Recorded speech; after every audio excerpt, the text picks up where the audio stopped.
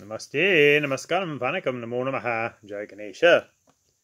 Please visit our website at classicalyoga.org, and there's a donate button there if you'd like to help us out. We need your help.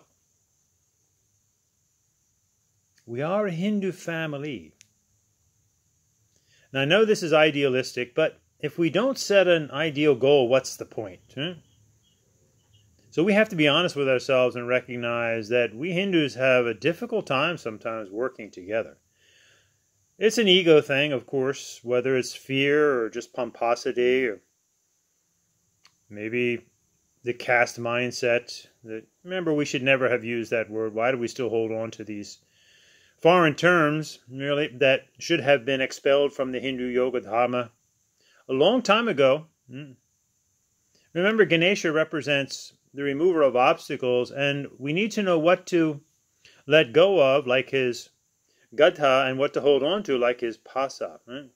Let go of caste, let go of God and Lord, and hold on to the real meaning of yoga. Hold on to our Sanskrit, Tamil, Hindu terms and concepts. Brahman, Ishvara, Ishvari, Mahadev, Mahadevi, Isana, Kumari, all beautiful Sanskrit, Tamil, Hindu terms you see, so leave God and Lord to Christianity. For the Christian will never ever say to thee, Kali, Krishna, Vishnu, Shiva bless thee, for example. So let's look at ourselves as a Hindu family. And remember, Harihara Ekarupa Gunashila. Karata Swami Sevaka Kelela, Rahate do Puja Puja Vate, Puja Varate Sabani Sikvata. Here's part of our family. is Kuchnavi. So remember, we also have figures of animals in our mandirs, right? We see the divine spirit flowing through all things. So we have Mushika in our mandirs. We have Nandi, we have Garuda, Muil, Peacock. So we are a Hindu family, Saiva, Vaishnava, Shakti, Vitarka Mudra, the three. So let us live in harmony and follow the Dharma and plant your yoga tree Karma Bhakti Raja Gyani, this is Hindu Dharma, Om Shanti. Ganapati Muruga Shiva Shakti. Ganapati Krishna Vishnu Lakshmi. Ganapati Hanuman Sitaram. Durga Lakshmi Saraswati. Kali Durga Parvati. We are a Hindu family, Saiva, Vaishnava, Shakti, the three. The three Sampradayas.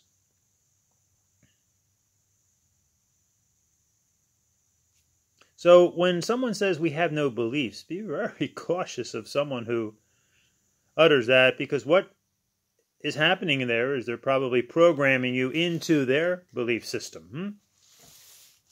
Hmm? So belief is important, but we don't want to just stay in belief. We want to turn our beliefs into convictions. Hmm? So they start as assumptions. This is the scientific method hypothesis, assumptions, beliefs, but we want to turn them into a conviction, a shraddha, a full faith. So too with faith itself. Hmm, we need that. It starts as hope. That's asha. And through time and testing, we want that hope to turn into more or less a guarantee or a shraddha. So belief and faith, very, very important, but we don't want to just stay in the initial stages. That's where a lot of people have a problem with belief and faith, that we just stay in the initial stages without proving it out. It's like only using the beginning of the scientific method without ever reaching a conclusion. But then, of course, we always keep our minds open for new discoveries. So, beliefs are very, very important.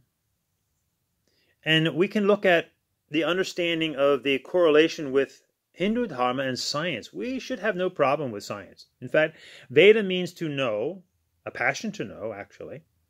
And science means to know, so we as Hindus should be very comfortable, even though obviously there are some of us that are very dogmatic in a very negative sense, very cultic, right? We should always be open to new discoveries, know what we know, and then be prepared to have our beliefs challenged. And if they stand firm, wonderful.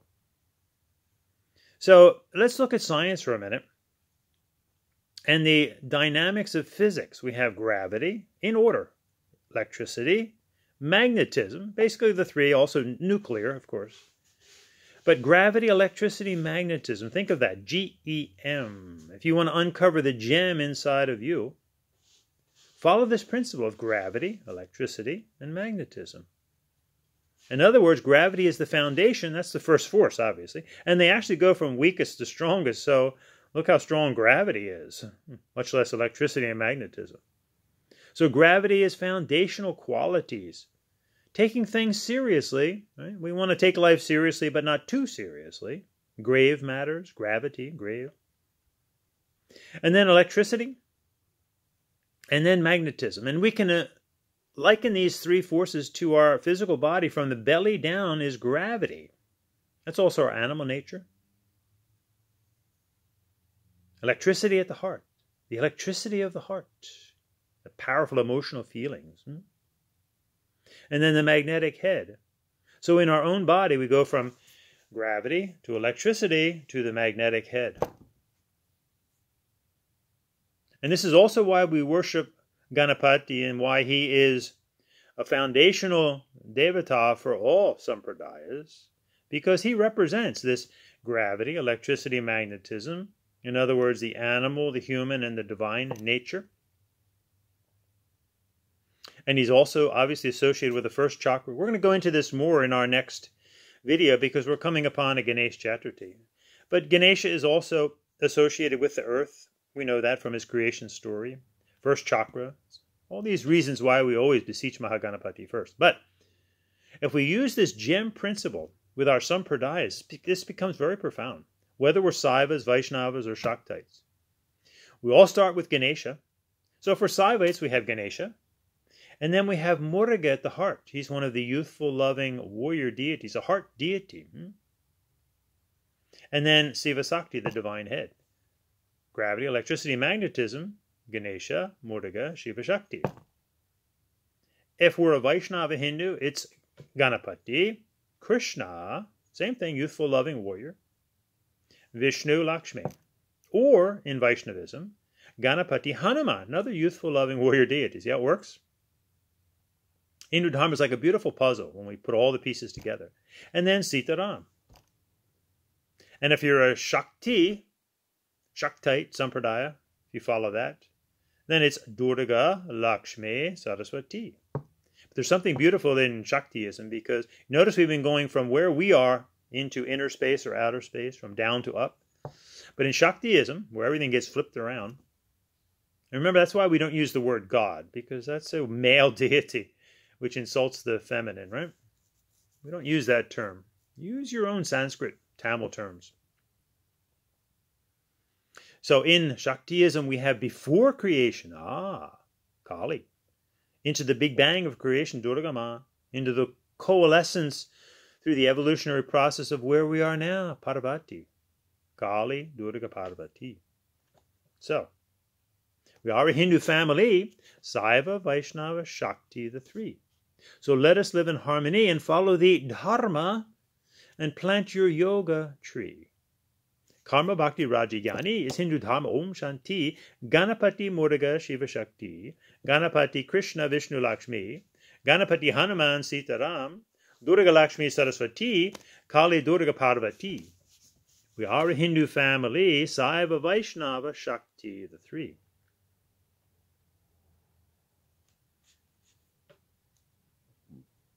So,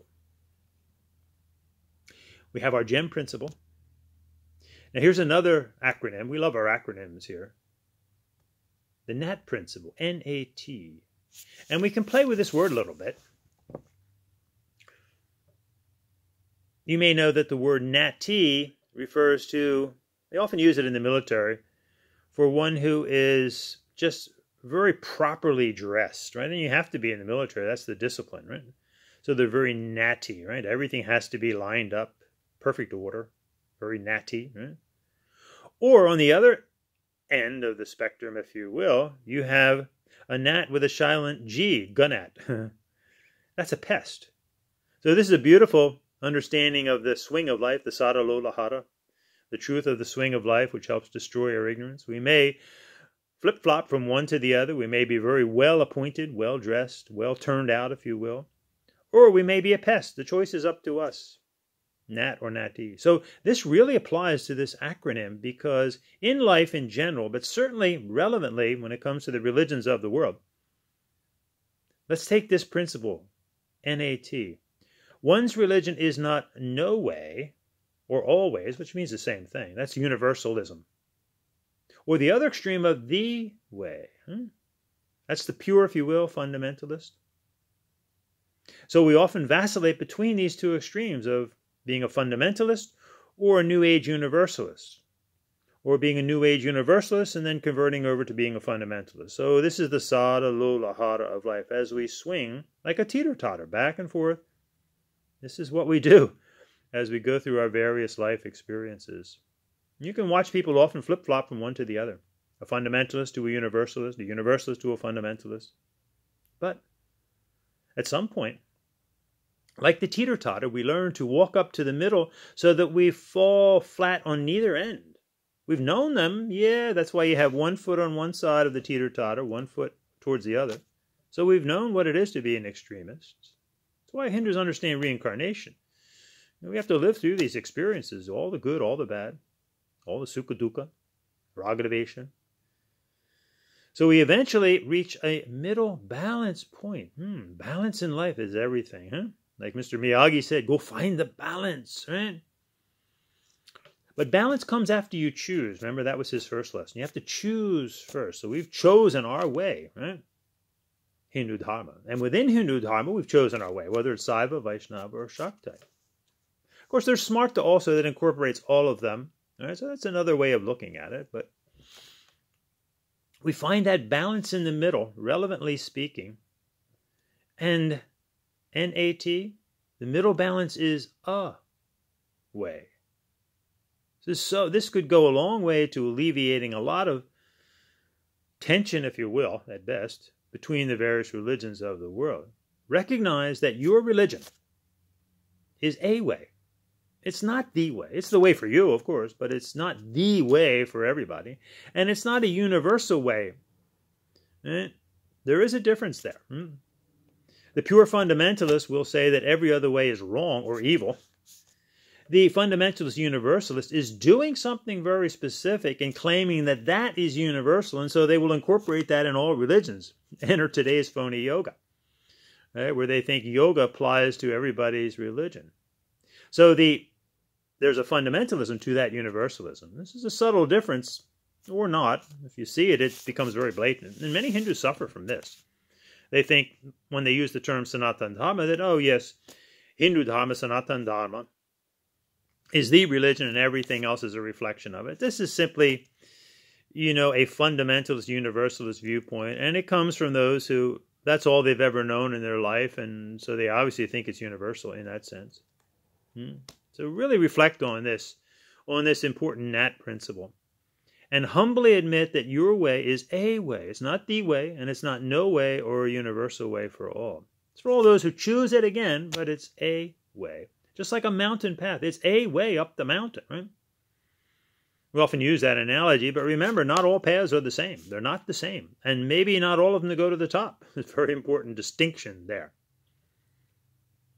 So the NAT principle, it's a way. And then within any specific religion, like Hindu Dharma, our sampradaya is not the way, it's a way. Don't fall for that trap like the Hare Krishnas did. Or there are many, uh, especially Vaishnavas, can be very sectarian, believing that Vishnu Krishna, being indoctrinated that way, is really the deity. And they'll use the word God, they're misusing that word, and they'll say that really is God that manifests in all things, and we even have pictures of that. So that's that's just a fundamentalist universalist viewpoint, right? We don't want to fall for that trap, right?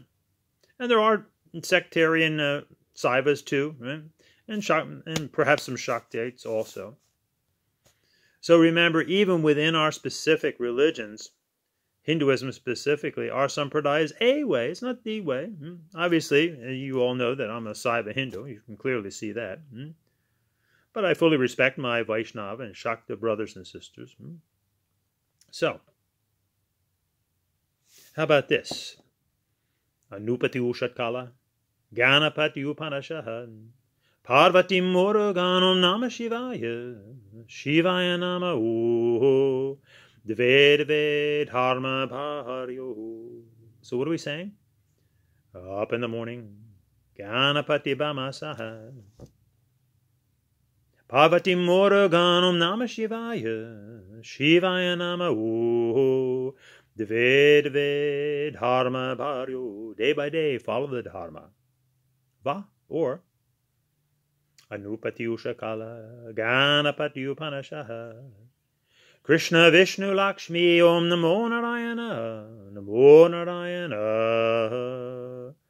Dve Dve Dharma Bharyo Va Up in the morning Ganapati Bamasahar Hanuman Sita Ram Oh Ram Ram Sita Ram Ram Ram Sita Ram Ved Dharma Bharyo Va Anupati Ushakala, Ganapati Upanishad, Durga Lakshmi Sarasvati, oh, O Kali Durga, Parvati, Dvid Vid, Dharma Bharyo. Sub Hindus, Sarva Hindus, all Hindus follow. Karma Bhakti Raja, Jnana Hatha, Mantra Japa Naranata, because it's Yoga Dharma. It's Hindu Dharma, step by step, pade pade, Dharma bharyu, pade pade, Dharma bharyu.